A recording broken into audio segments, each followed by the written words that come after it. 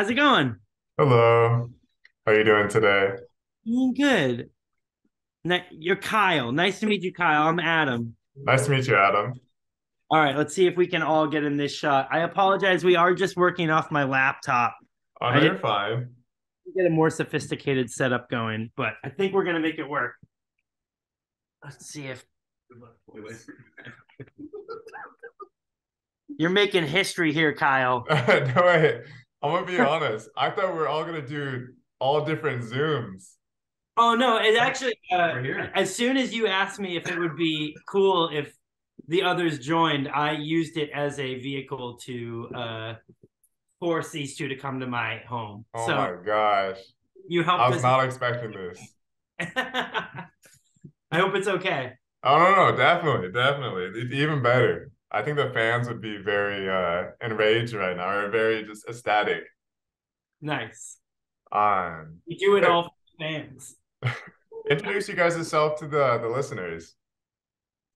Uh, I'm Adam Demersion. Uh, I uh, played guitar and sang in the Brave Little Abacus. Uh, I'm currently a musician in the Boston area in a band called Me and Capri's. Uh, my name's Zach Kelly Onette. I played synth in the Brave Abacus, and um, I write music, um, a lot of piano music, and sometimes write music for short films too. And I'm Andrew Ryan. I played bass in the Brave Lopkis. Nice. So, how would you guys describe Brave Little Ab- Abacus? And also, what were the years active? That's, so, We were active from uh, August 2007 to January 2012. How would you two describe our sound? uh, jeez. I The think we people who don't know that's that's listening. yeah. Um, I think at first we just wanted to sound like the Flaming Lips, and then whatever else we were listening to, I don't know. Yeah. Uh, I think we wanted to sound earnest, excited, loud. We just wanted to be uh, as creative as possible. yeah, I'm glad Andrew and Adam are answering this right now because I wasn't. I was first. We wanted to sound very emotional. yeah, Yeah, it was like it, it all like experimental, like punk rock. That's what we were kind of going for. Hmm. Yeah. So, a lot of people, uh, you like you guys are basically accredited for being like one of the figureheads for like fifth wave emo. Mm. Um, yeah, and you guys never really like claimed to like be emo, correct? Absolutely not. yeah. I think we claimed that. No, we never that never really came about until after the band's breakup. Um when we were in Brave Abacus, I think that we actually were really proud that we couldn't define it by a genre. That was really fun because we were surrounded by bands that were like, "Oh, we're um we're like a post-hardcore mall rock um outfit from southern New Hampshire." And then it would be like, "What is your band?" And we'd be like, uh, it's Brave Abacus. We were very I think we were kind of like indignantly anti-genre. Um, but I totally get it. And uh, I, you know, I think there's a lot of music described as emo that just happens to be earnest and loud. And I think we were those things as well. So Yeah, yeah. Yeah. Um, I saw on um, an article you guys were accredited for having the the best emo song in 2010 on The Ringer. That's crazy. Play to win. yeah. Yeah. Um, what when did you guys like notice uh when your band started to get viral like post-mortem on the internet? Mm, it was a li- uh, Like individually, what's your individual stories when you guys were like, oh wow, like this is We talked about it. I think. So Yeah. like I don't know, 2015 or something. I don't know. I, I would. I probably second that. It probably around 2015. I was like, okay, some people seem like they're actually still interested in this. Maybe more people than knew about it, but it wasn't like, you know, I still didn't know if more people would continue to listen to it. It was just like, okay, seems like people Yeah. still listen to it. it's Which was hard. a surprise. It's hard. It was a surprise. Yeah. it was definitely a surprise. Yeah, it's really hard to judge too because the attention to it has grown. So it's kind of like, well, yeah, 2015, probably a good base point. But then, like, even like by 2018, 2019, 2020, like the attention has grown incrementally, like every year. Um, like I, I couldn't believe the first time that just got back from the discomfort got put on Spotify. We didn't do it. Somebody Oh else. yeah, yeah. The the amount of attention that that got was really shocking. Um, because it had previously not been on any streaming services. So it's hard to kind of judge. It's been a little bit of like an uphill trajectory of monitoring it. Um, it's always surprising though. Like the Ringer article that you're referencing with like the best emo song of 2010, like that was a real weird high point personally. Like I still can't believe that that was, you know, seeing that band's name on a list with bands the likes of Rites of Spring and um Cap'n Jazz and you know, it's like that's that's wild, you know. Yeah. Mm. Yeah. And I, I- I feel like what puts you guys apart from a lot of the other bands in this genre is just how like how weird you guys are and how um definitely like experimental like uh like you guys would use like the jumping samples of Sonic or like a washing machine would make it into your record. Um what what were some like weird things that you guys have like have like made it into your records? I don't know those those two for sure. Um, How did, how did that washing machine even get in the record? we were just recording in Adam's uh, parents' basement, so I, it was kind of uh, unavoidable. The clothes had to be washed. the wash, yeah, wash the washing machine is an like a like an actual very honest collaborator because it just is. It was just on. like constantly going. Yeah. Oh yeah, no, my yeah, like my folks were just doing laundry, and you know we had the genius idea to have room mics set up in a basement. You know, it's like And you guys didn't have like the idea to like turn it off, or just like, what were you guys like? Let's just keep it rolling. It was probably mid cycle, so. well, I think I think I think I think the washing machine's involvement in the production of Masked Dancers specifically is one of the best indicators of how Brave Abacus went about making music. Was that it was such tunnel vision? Like imagine a puppy post like surgery with the cone. Like you know what I mean? It's just like we're making music. Like we don't, we couldn't possibly have time to worry about like a washing machine Mm. being there. I mean, it was just it's it's perfectly imperfect, I guess. You know, Yeah. It's- And uh, you, I'm assuming all this is all recorded like like at your house, like home recording stuff, uh, mainly. What was the uh the DAW that you guys used at that time? Uh, Cubase SE. It was a student version of Cubase that I got from um my guitar teacher at the time, Eric Clemenzi, who was very involved in helping us like mix and decide like equipment we would get. He was a huge inspiration. Um, he was he had the genius idea that he was like, you should send an email to Steinberg and request a free student license to Cubase uh, and say you're studying music production. But the reality was I was just in high school. so I just sent a picture of my high school like student ID card and said I was studying audio production and they sent me a free version of Cubase SE. So that's what we used Nice. whole time. Yeah. the entire time, Yeah. Yeah. The, the only, even even like Ukume. uh Ukume was in Cubase, but the drums were made in Reason. Mm, all right. Um, and then so I, would- would say like your your cult album, like uh, just got back. Um, I, I heard that you guys like like mapped out the entire album before producing it. Is that is that correct?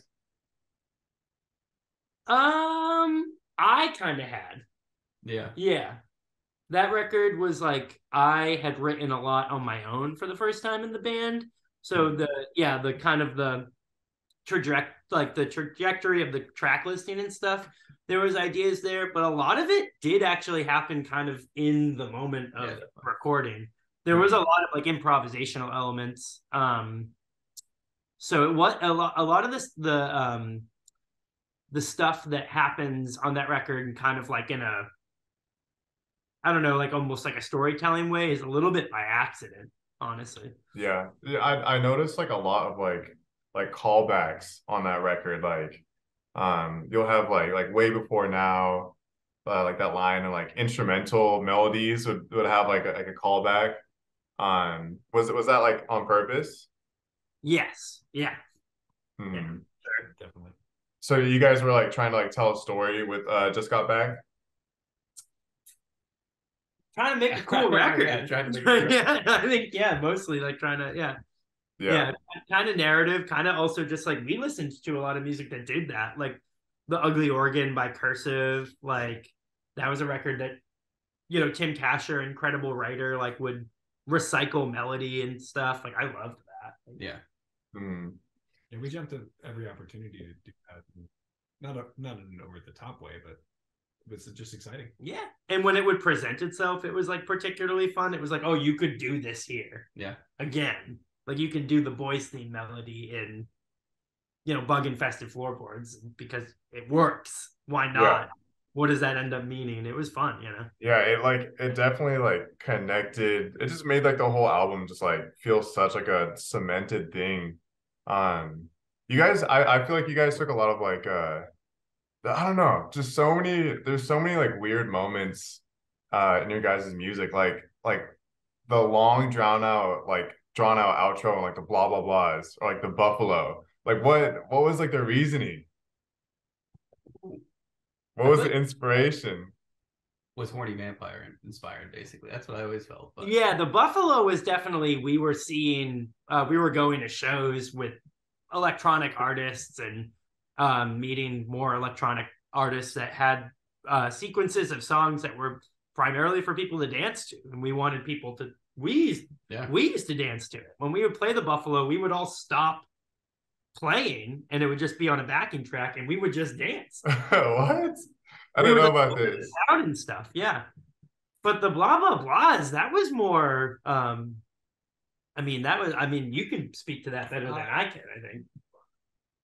I mean, uh, you know, we, we had listened to some different ambient artists, um, including Aphex Twin, and um, yeah, sometimes we would just find like a cool chord progression in a song that was neat, and then thought maybe maybe for one moment in the song, like we just hear the chord progression rather than like every other instrument, and just sort of meditate on that for a minute.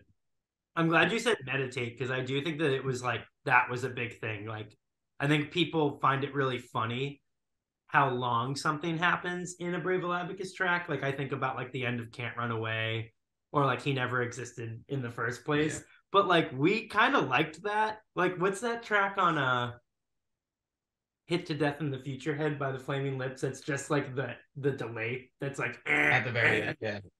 like we thought it was so cool that bands would like have a track that was just four minutes of the same thing. Hmm. It's almost even like a modern classical that you know, like yeah, yeah.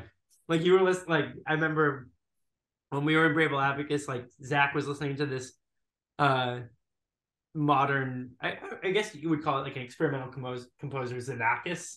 Oh yeah, yeah, Z- Xenakis, totally. I mean, we're just interested in noise and sound. Yeah. I mean, like, Yeah. like it's okay for something to last long if you're if you're not listening to it, like if you're interested in listening to the sound of it. Yeah.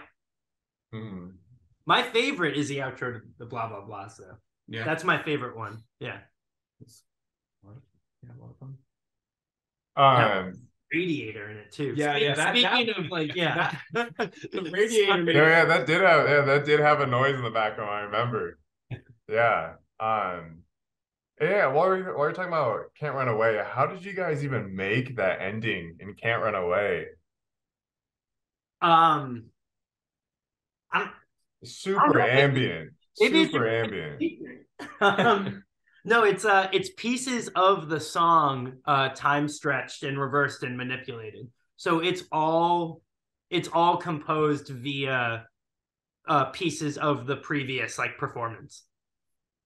I could have sworn I heard some like horns in there or something. We were, I, I, I, I'll say, I was. I think we all were. I would, we were obsessed with time stretching. Yeah. Like when you take like just like a note on an acoustic guitar, and just make it three minutes long. Like just completely slow it down so it lasts forever. Some real magic happens. And that was just having a lot of fun and composing inside a DAW, you know. Mm. Yeah. Yeah, yeah. Can't run away. Like when I first heard that, that was like uh, I don't know, it separated you guys from so many different artists. Um and also one of my favorite tracks, but I won't always be on the receiving end. That was just such like a literally sounds like like a weird track having like an like an instrumental jam and then just Akira like sampled all throughout the song. Did, did, did you guys have like an inspiration behind that or just you guys just like let's just do it? I mean, we were watching Akira then. yeah, we, we liked Akira. Yeah. Um, oh, I mean, I think, I think the sampling thing was a little bit of a snowball effect, where like the first couple times we did it, it was just really exciting. So then every time we did it subsequently, we tried to up the ante. Kind of. Does that make Yeah, any makes sense? sense to me. Yeah. So it's like taking like an a vocal from you know dialogue from Akira and trying to make it musical. It was just like how much further can you take it each time, you know? Mhm. And then you guys ended up using the another Akira sample later on in that album, I believe.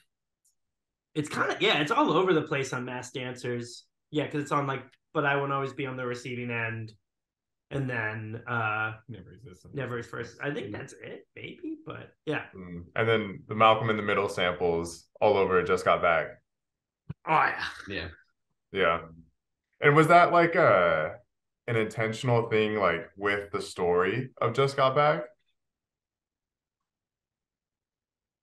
I I mean I can say for me personally, it was very connected to the lyrical content. Yeah. Mm. Yeah. Um while talking about the two albums, what what are the two album covers? Like what's what's the story be- behind those two? Andrew, do you want to describe the Masked Dancers cover? You The were Mass- very we- involved. We worked on that. Yeah, both of you. Yeah. We kind of had the idea for. it. We had a friend that had taken the picture of our friend. Um, I don't know, with his arms up like that, right? Mhm. And then uh, we just had kind of the idea to make it into a silhouette and then post all those leaves in there.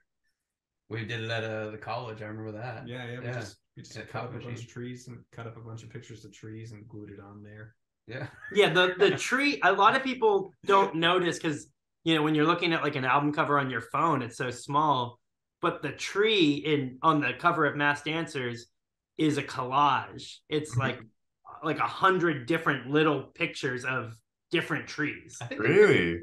On digital. Yeah. camera. Oh yeah, yeah, Yeah, yeah. right? Yeah, I mean, we, they, we did take the pictures. Yeah. and Print them printed out, out yeah. and glued them together. so Yeah. it was a physical collage. There was some I don't know where it is. Yeah, but there was a physical collage of the tree somewhere. yeah, And then we had our friend James. Uh, didn't James edit it together? yeah. James Yeah. Gentile, all, yeah, always did like our Photoshop work. Yeah.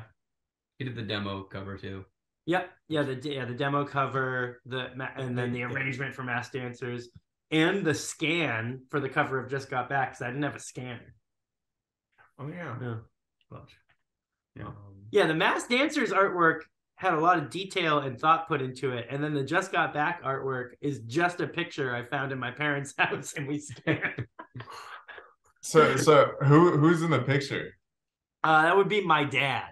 Oh really? And and he ended up playing your uh your last show too, right? Yeah, he played drums when we covered um, uh, American Girl by Tom Petty and the Heartbreakers. Yeah. Was he stoked for that? How'd you guys even ask? He didn't want to do it. Um, What? he, yeah, because he was, you know, he's like kind of like, he was like, oh, nobody wants to see me play drums. And then what happened was because we played that show with our dear friend Laura Stevenson, and when I told him that Laura was going to sing on it, he like started to practice and was like, oh, this is the real deal. And he like finally agreed to like do it, but he wasn't gonna do it. It was it was wild. Hmm. So how did the uh the band name come about? Um, Well, we we I think we wanted to like make we, we had an idea of referencing maybe old media, like maybe an old film or something. We we we went through a couple different films. We were like something that had nostalgia, like um we were thinking of something related to the never ending story at one point, I remember. Uh and then um we had also seen the Brave Little Toaster We really loved the Brave Little Toaster Hmm. a lot. And there was something about yeah, there was just something about the the vibe of that movie that felt like just neat and different. And uh yeah, we just had the idea of just changing up the the noun with something interesting. I don't know. We just had to think of like an interesting now. Yeah. Yeah. Yeah, the Brave Little Toaster's like involvement in Brave Little Abacus is like a lot bigger than I think anyone would ever really know. Like Zach and I particularly, and tell me if I'm wrong. Yeah, Ashley, I like, like say yeah. Like I still am obsessed with the score to that movie, as I can only assume you. Yeah, yeah. The score is ridiculous. one It's of just- yeah one of the greatest collections of music ever it was a huge uh connective point i think for how we would write together Yeah. Um, so I I went on to Reddit before I did this interview. Um, like two weeks ago, I posted on Reddit like, "Hey, I got Brave Little Abacus down to meet up for an interview. Like, would you be down to pose some questions?" Emo Reddit blew up with that. Um, well, yeah, my post blew up, and I was like swarmed with questions. Um, yeah, I, I haven't had a post that big before, so I was like, all right, all right, calm down. Uh, uh, but um, everyone, so yeah, I'm gonna be asking some questions that I got from Reddit. Um, first, what was your guys's uh influences, like personal influences, uh, during like the the band? you want to go down the line andrew you want to start Sure, I think um in the beginning it was definitely we, you've talked about it before, but uh, they might be giants and the Flaming Lips. Um, and then I think as it got further on, definitely cursive. I got more into Bright Eyes. Um, we were always going through a bunch of music, I guess. Yeah, I remember the the day that you started showing me microtonal music. I wouldn't say that was my biggest influence, but uh, I just remember that becoming a big. Yeah, we listened to it a ton. Yeah, Listen- yeah. We listened to we, we were just always showing each other music and listening to new things together. It was a constant revolving like uh playlist of new music. Yeah. And I remember you showed me uh Mount Eerie uh, the microphones. Yeah, the microphones. did. well, yeah, we were we we definitely listened to the the glow for a minute. Yeah. minute. Um, uh, yeah, I was listening to or Bruce Bizarre. No, go ahead. Yeah, um, I was listening to a lot of um Alois Haba, uh, microtonal 20th century composer, and just a lot of like atonal 20th century music, primarily at that time. But then Adam and Andrew were my uh, link to the the future with rock bands. Yeah, They were showing me, yeah, a lot of more modern stuff. i'm gonna go with some deep cuts i don't think i've ever said before um loved the shape of punk to come by refused. That Yeah, record yeah. was a big one. Um sirens by on the might of princes which is celebrating its 20th anniversary right now. And it, a new remaster has just come out um which is awesome. And it's been incredible to revisit that record because it had such a profound impact. That was like the platonic ideal of like vocal performance. A lot of people uh think my voice is bad on those records. I was just trying to sound like jason rosen rosenthal from on the might of princes. I didn't do a very good job. Uh um what else? Uh i always say it but it's like the truth. Bomb the music industry was such a guiding force for us of not only what to sound like as a band but how to be a band. Um we loved lemuria Yeah, True. we loved the measure we loved good luck the wild. Yeah. the wild um uh lantedum uh new hampshire based um uh i guess people would call them scrams uh i always just called them punk rock uh their their lantedum's discography has recently um gone to streaming services so hopefully younger people can hear those records too um yeah, there we were we I think we were good listeners. We were good at hanging out and listening to music and it was it was good for us, you know? Mhm. Yeah.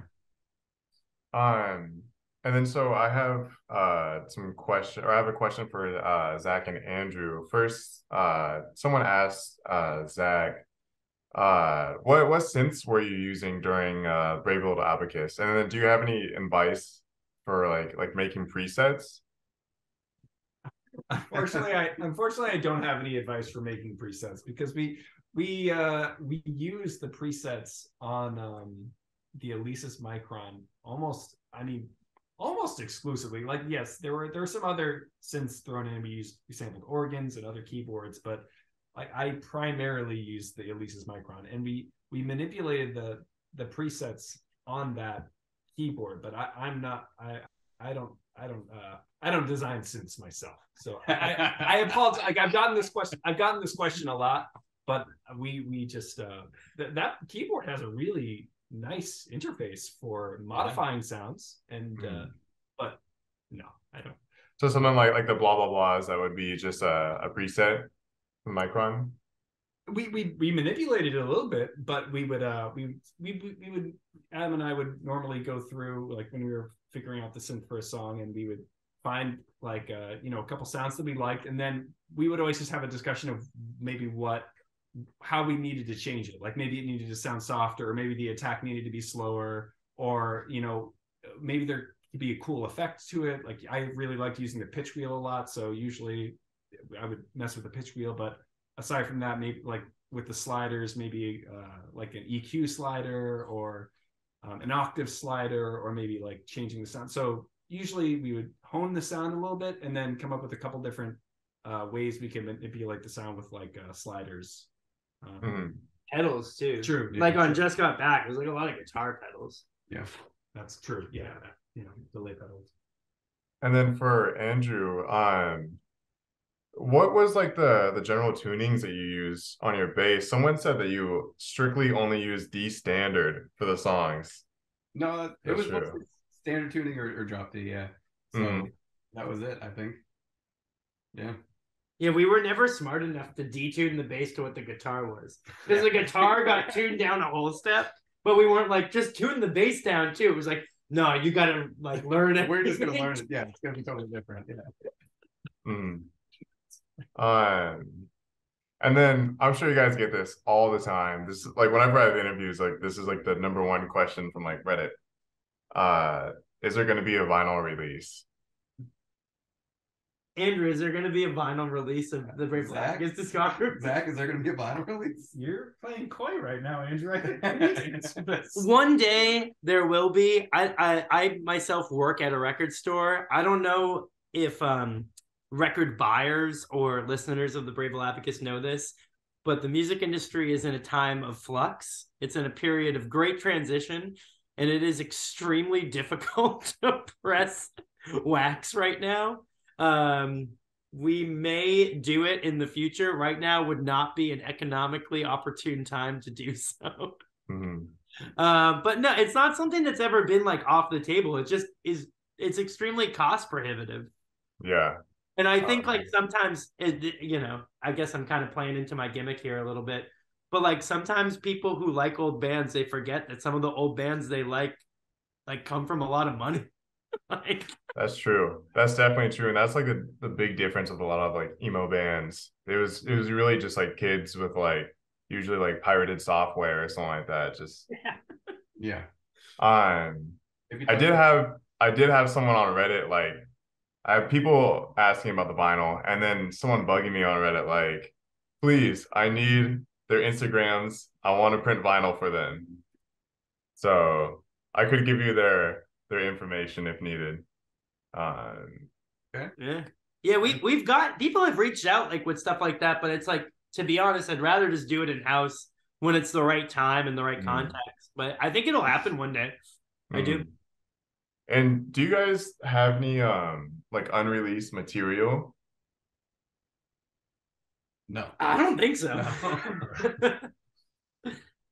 no, I think we released it all. Right? Yeah, I, I don't. I don't think we do. Yeah. Yeah. Um last question from Reddit. Uh do you guys have like any plans on like making new music or or touring again? Well, we never toured. Nope. um, I, I think it would be a fun thing to explore. I, yeah, there's no plans, but yeah, yeah, I agree. Yeah, I that's where we're at.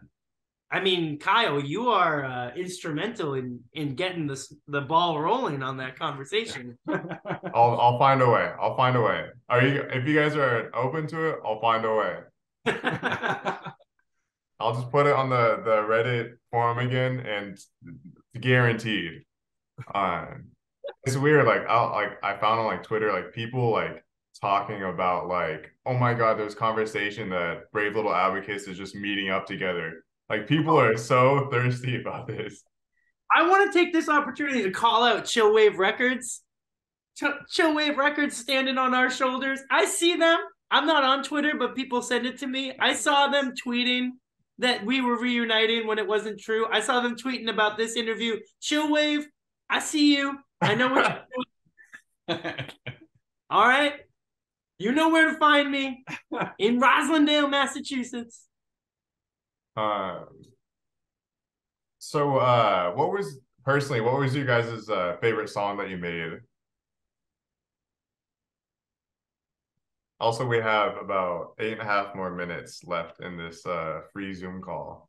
Okay. nice. We got a couple songs that long. Uh, you want to play?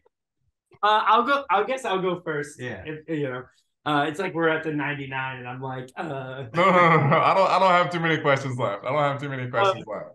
uh, my favorite song that we ever made was Orange Blue with Stripes. Yeah, and what what was that?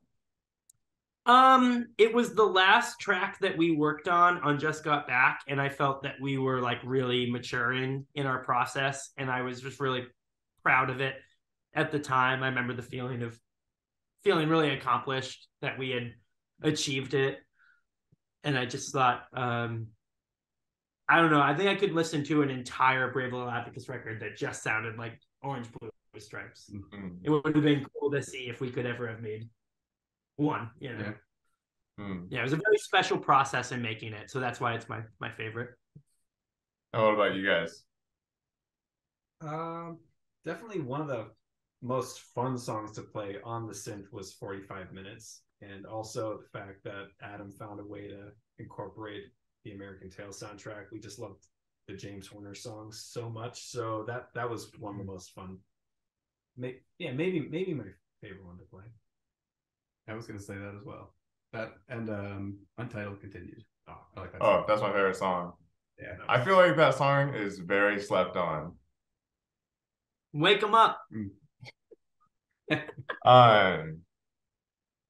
So I mean, I I saw um like that Matt Aspinwall uh split set video um and just like the uh, like that the live video of you guys playing uh with Matt Aspinwall was just so like wholesome. What was like the uh the scene like back back then, like the local scene? small very small it was uh i would say maybe a group of like 50-ish people that would come and go and faces that we knew and people that we knew pretty tight um it was us and different bands basically and uh friends of ours that were playing um we most of the shows we would put on or go play with with other people that we knew Yeah, and I, I it's funny, like I the two things I would always describe about it, if anyone ever asked, is one, it was a shock when there was someone around that you didn't know. yeah And it was like a trip. Like you had to you were like, who is that? How are they here? And then B, a real testament to what it was like to be in Brave Little Abacus was the constant confusion between us and our social circles that it was like, oh no, it's this is a show. It's not a party. yeah like the amount of Brave Little Abacus shows that would end because the people at the party were like, we're done with the music part. That's so true. or got Wow. shut house shows Oh yeah, shut down constant So, yeah. house shows getting shut down. Yeah. But no, there was it was a scene of creative people and friends, but it it was very small, Yeah. very small. Hmm. hmm. Um, this is a, like a very personal question. What what inspired the chord organ on the uh, record? Um, I we we would get all sorts of instruments that we get offline. I feel like, or um, At thrift at- shops. at thrift shops, Yeah, or, we always thrifted instruments. yeah, flea markets. From, yeah, That one, the chord organ was borrowed, from Cody. but I think it would. I think that if you really have to trace, if you really want to trace back the genesis of it, it's it's Daniel Johnston. Yeah, I would say.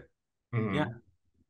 Definitely. I would, I would say he's like like the biggest uh mainstream use of a chord organ. It was just it was just so weird to hear a chord organ like actually used on a on a track.